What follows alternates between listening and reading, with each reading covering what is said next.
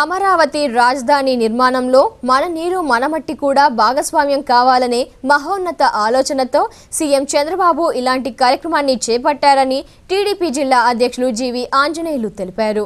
మాచర్ల పట్టణంలో శనివారం జరిగిన మన నీరు మన మట్టి కార్యక్రమంలో పాల్గొన్న జీవి ఆంజనేయులు పల్లా న్యూస్తో మాట్లాడారు.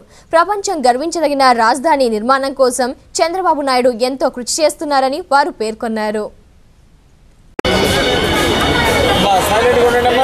అమరావతి రాజధాని నిర్మాణం కోసం మన నీరు మన మట్టి కూడా రాజధాని నిర్మాణంలో భాగస్వామ్యం కావాలని ప్రియతమ నాయకులు ముఖ్యమంత్రి గారు చంద్ర నారా చంద్రబాబు నాయుడు గారు ఇచ్చినటువంటి పిలుపు మేరకు ఈరోజు రాష్ట్ర వ్యాప్తంగా అనేక దేవాలయాల్లో అనేక చర్చిల్లో అనేక మసీదుల్లో పూజలు చేసి ఈ రాజధాని గొప్ప అభివృద్ధి సాధించాలి గొప్ప నిర్మాణం జరగాలి.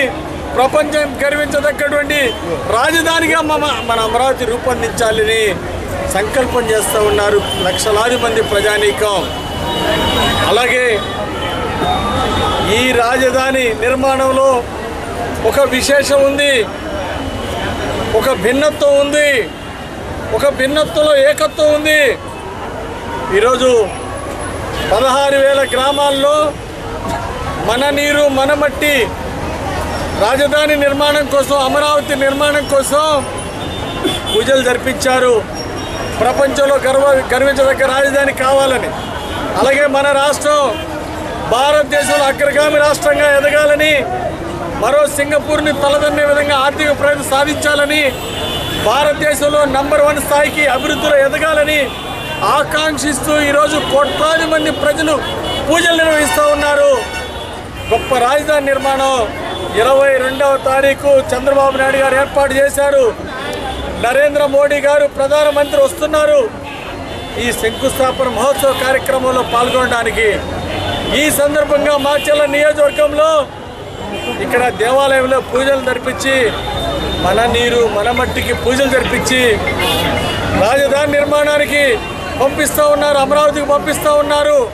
చలమారెడ్డి గారి నాయకత్వంలో అక్కడ ఉన్నటువంటి తెలుగుదేశం పార్టీ నాయకులు పెద్దలు అందరూ కూడా కలిసి ఇక్కడ బ్రహ్మాండంగా కార్యక్రమాన్ని నిర్వహిస్తున్నందుకు చంద్రబాబు గారి సంకల్పం నెరవేరాలని మరి చర్మారెడ్డి గారి నాయకత్వం ఇక్కడ పూజలు జరిపిస్తున్నందుకు యువనాయకుడు శ్రీనివాసరెడ్డి గారు ఈ బ్రహ్మాండంగా జరిపిస్తున్నందుకు వారందరికీ కూడా అభినందనలు తెలియజేస్తా ఉన్నాను.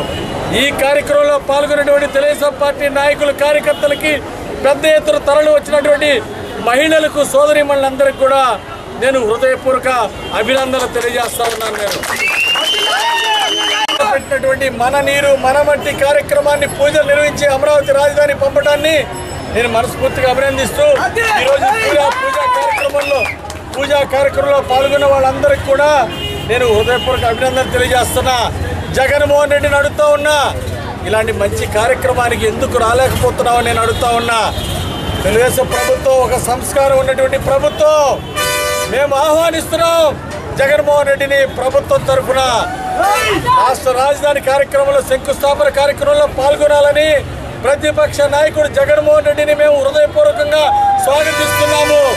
రాష్ట్ర అభివృద్ధికి ఉపయోగపడేటువంటి మంచి కార్యక్రమంలో పాల్గొనాలని ప్రధానమంత్రి మోడీ గారు పాల్గొనేటువంటి శంకుస్థాపన కార్యక్రమంలో పాల్గొనమని మేము హృదయపూర్వకంగా జగన్మోహన్ రెడ్డిని ఆహ్వానిస్తున్నాము.